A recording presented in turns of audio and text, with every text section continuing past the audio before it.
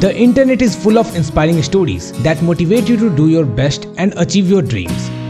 One such story is of PC Mustafa, a young man from Kerala. Born in Kerala's Wayanad, Mustafa's father was a coolie and lived in a small 50 square feet room. After a lot of struggle and hard work, Mustafa enrolled in engineering at NIT and got a great job in an MNC company. Despite having a well paying job, Mustafa was always interested in starting his own business. PC Mustafa is the proud owner of ID Fresh Foods, which now provides various ready to cook items to Indian and foreign clients. No chemicals are added to his ready to cook products to enhance their taste. His company is a well known brand throughout India and hundreds of crores of rupees in annual turnover.